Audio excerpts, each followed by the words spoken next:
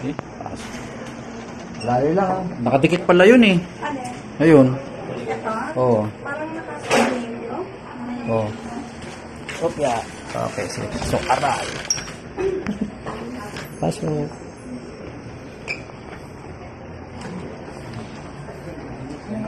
Op, dandahan na, baka masagi yung nando doon, no? Baka tamaan yun, ano, laglag yung paso. Okay.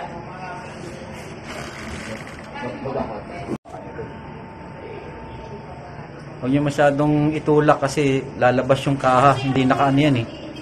Hindi nakatornilyo sa gilid yan eh. Isa na. Oo.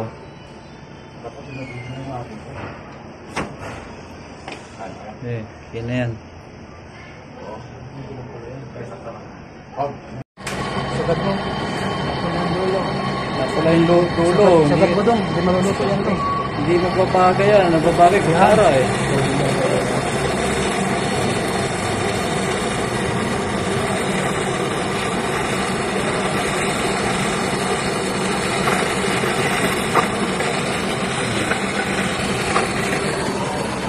Yan, panghapon. So, nasa rep na sila. First. So, hmm. Unang lecture nila sa rep. Kumuha ng parameter reading. Yan. Tapos yun isa, hindi sila makakuha ng hindi sila makakuha ng PSI kung walang access valve. Yan. Baluktutin. Huwag mo na putulin. Ba- Pabaluktot ko. Paano ka? Pa-rainbow. Hmm. So, ayan. So, hindi nyo makukuha yung PSI niya ng high side sa side kung walang access valve. Ayan. Ayan, parameter reading na sila ng refrigerator.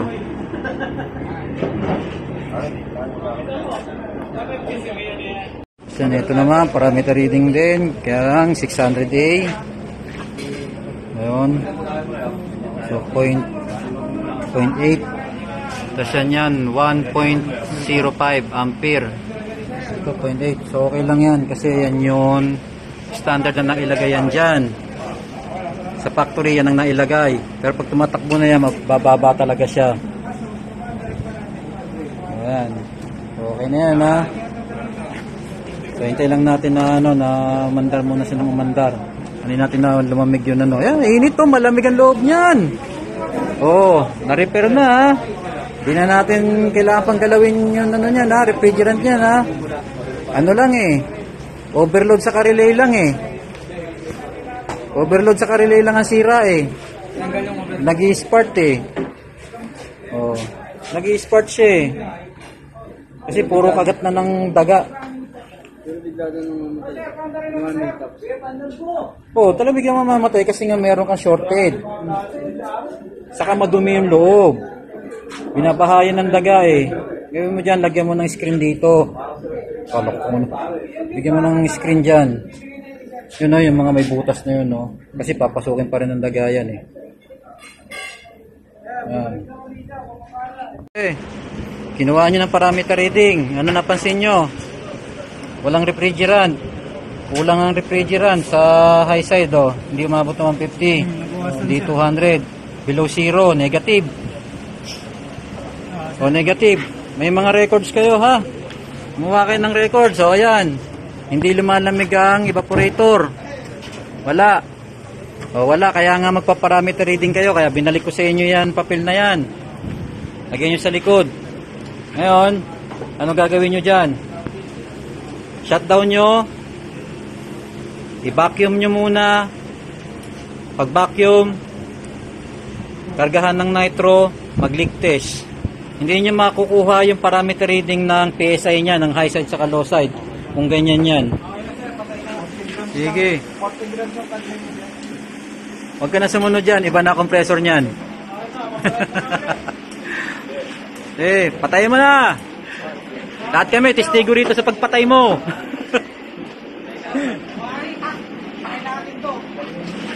oh, sige. Gawin. Tanggalin nyo na yung gates. Alisin nyo muna yung refrigerant.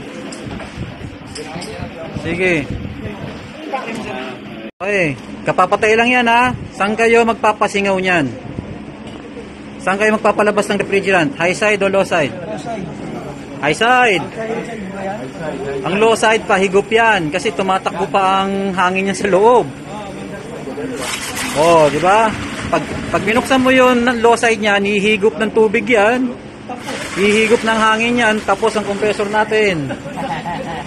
Ha?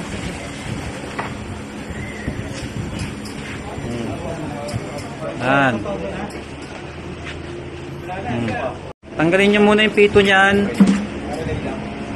Eh, tanggalin nyo muna yung pito niyan. Pagtanggal ng pito, vacuum, para mas mabilis matanggal yun, hangin. Ah, ano na, sir, i-pa-flashing na diretso? Oo. Para matanggal yung hangin. Ano nga kasi, may nanginginig yung leads natin. Hmm. Eh? Tama, sir, no? Pag nanginig na, may moist. Hmm. Eh? Yan. Ito. Wala rin masyadong lamig. Yan, sa taas oh. Pero ka-open pa lang eh. Anin lang po pa lang natin. Wala pang kalahating oras eh. Oh, pag ganun pa rin yan, kulang ka na ng refrigerant kasi sinasabi rito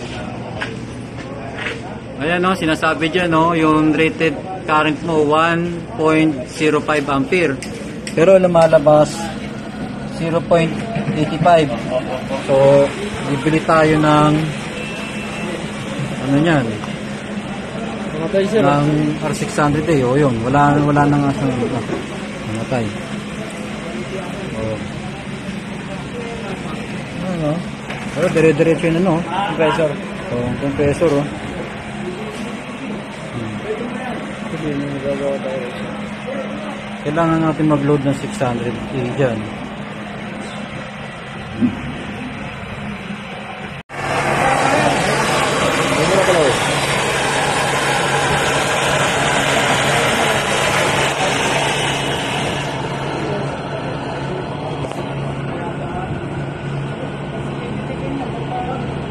Yung, yung nadali. Likod, hindi pa yan. Ayan. Mo.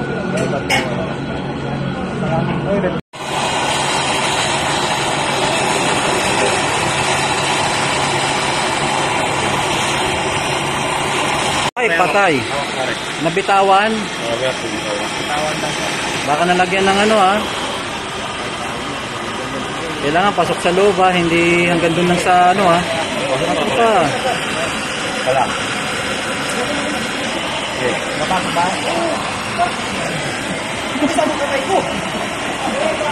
Baka nabarahan yung butas. Check muna, check muna natin. Baka nabarahan yan. Lalo na to yung maliit. May butas pa ba yung maliit? Ilawin nyo. Meron, sir. Meron, meron. Eh yun dito, baka nabarahan na. Kasi nalagyan na ng ano kanina eh. Wala sir, meron pa. Sige na, pasok na, pasok na. Ano nyo lang natin mag ano? Oh. Hmm. Wala pa na. Eh no, babaw oh. Pag kaya, pumalo na yung refrigerant yan. Umandar na to, bibitaw yan. Bitaw yan. Tapos yan, nandiyan ka pa, nakatutok yung mukha mo dyan. Talsik. Talsik sa mukha mo yan, ang init niyan. Pero yung talagang Ang babaw eh. Ilang ilang na siya kaya niya. Kaya may tutuloy na. Yung pang 1 horsepower, 1.2. Ano na natin compared to HP? Outsta- standing pressure. Oh, bubuksan yan. Oy. Oh. Sige, buksan mo. Sige, buksan mo.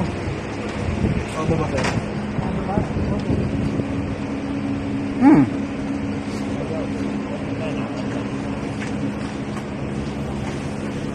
Tapon, konti. Konti, konti lang. Ay. Konti lang. Tama na. Yan, iba yan. Pero ito, sir. Sasaksak na rin ito. Hindi pa. Ito, sir. Sasara ito, sir. Sarado mo. Dada, dada. Lang. Kaya mo lang. Uminto na sa 100. Sige, sara. Hintay. Hintay lang ng 5 minutes for rotation ng ano, ng refrigerant. Hintay lang. Oh, mabilis lang 'yon. Konting ano lang. Oh, konti lang 'yan. Konting oh, konting liquid lang 'yan. Tapos yan puro vapor na 'yan.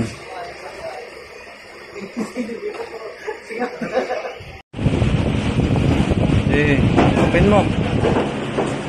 Yun. Umangat, bumaba yung blue. Kaya yung bumaba. Silipin mo rito. Huwag yun ang ano mo na dyan. Sarado mo na yung pinto. Para babalamig tayo eh. Nagawa tayo ice cream. Asawan nyo ano. Eh, basta. Mababayan, running na tayo. Magpapasok pa tayo ng hangin dyan kasi nag-circulate pa lang yun. Kaya maglalagay ng refrigerant pagka ganyan bumababa pa lang. Kaya yung magminto na siya. Yan yung isang minto kung saan siya ihinto. Ayan sir, huminto na sir. Hindi. Oh, yan. Hindi. Ganyan lang. Mga 10 PSI lang yan ha. Ah, 20 lang, sir? O, 10. 10 or 12. Mababa lang. Hindi, ito kasi volume. Overload muna sa taas para para ma-lock yun para ma-lock siya ng ano ng relay. Eh. Ang ganyan po. Hindi yan dyan. Ayan. Dito yan, ipapasok mo rito yan. Yan yung gitna, Ay. yung gitna. Yan Oh. sa may isang titi dito na ano sa ibabaw. Naku, hindi maipasok. yan. Yan. Oh, relay. Sa ano, pitong anak ka doon. hindi, hindi maipasok. Dalawa yan. yan, dalawa. Ilalim. So ba? Okay. Sige, kaya naka ano yan ha. Hindi, ipasok mo ng maigi. Yan. Okay. Di ba?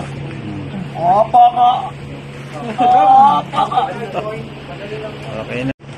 Ah, bumababa na. 21. Oh, 0.9. Mababa na siya. Tayo sir.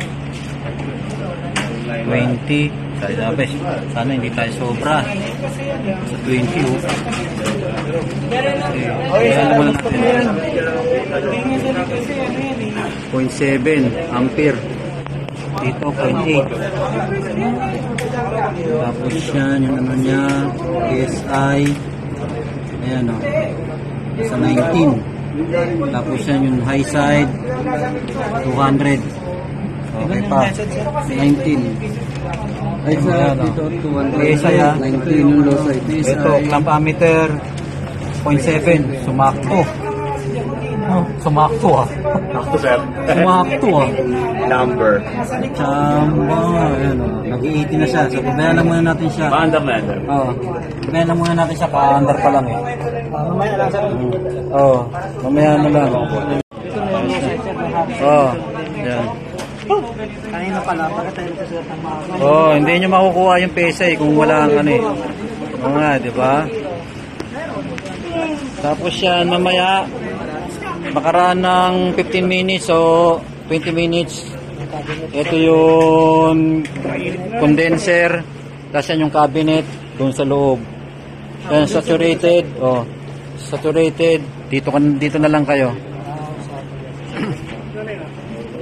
Kuhaan nyo na lang. Mainit na agad, ano? Oh. Ayan, oh. Mamaya na, hindi pa masyadong ano yan. Kabubukas pa lang, kabubukas. Oh, condenser yan. Sa gilid, oh. Hmm.